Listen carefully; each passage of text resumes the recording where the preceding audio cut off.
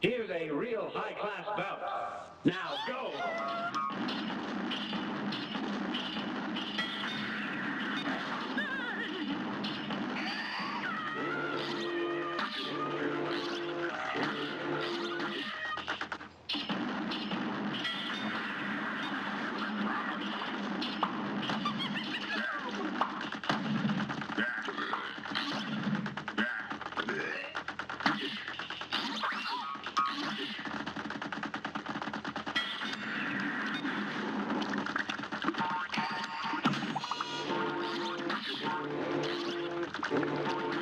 morning.